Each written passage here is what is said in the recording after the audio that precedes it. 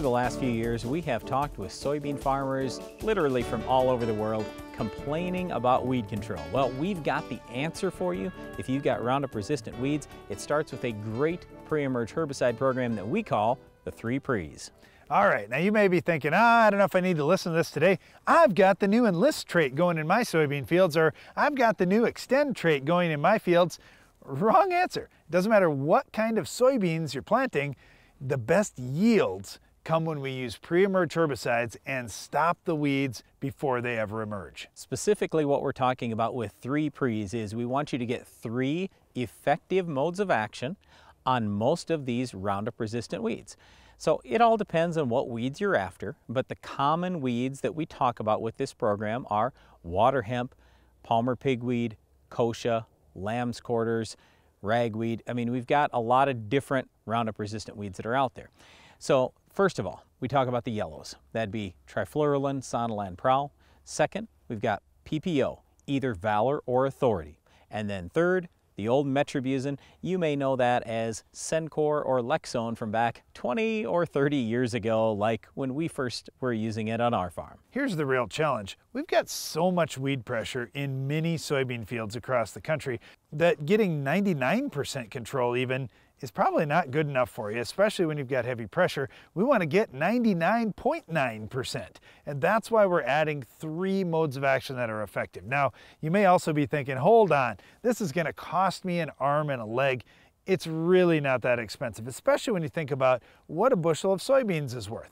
Yes, I'd like soybeans to be worth $15 a bushel, and they're not.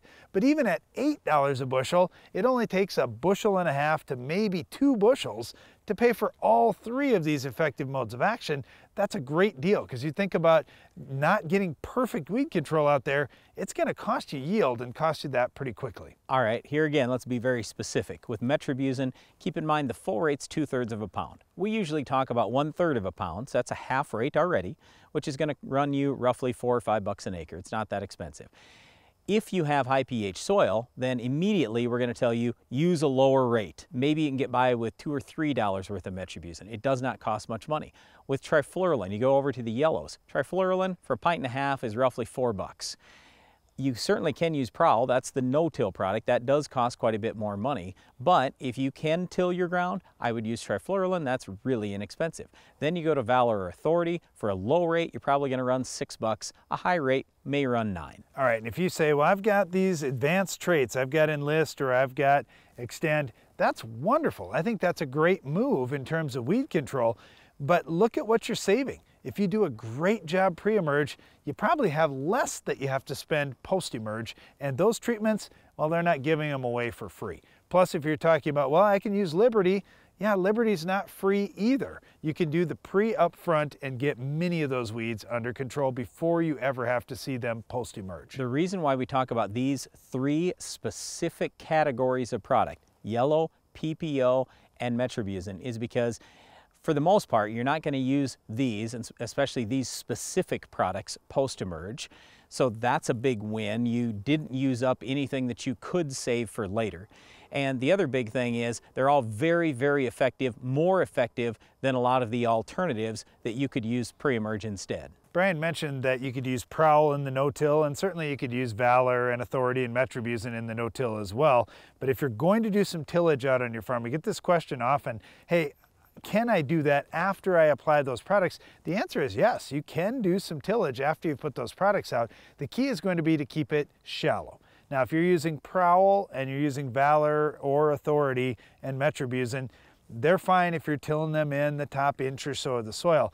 If you're using Treflan or Trifluralin, you can till that one a little bit deeper, but don't bury the Authority, the Valor, or the Prowl. Now, when Darren said an inch, you're to till deeper than an inch, okay? But usually what we figure is, let's say you're tilling three inches deep, that means a lot of the herbicide is going to end up an inch and a half deep, or certainly in the top inch and a half.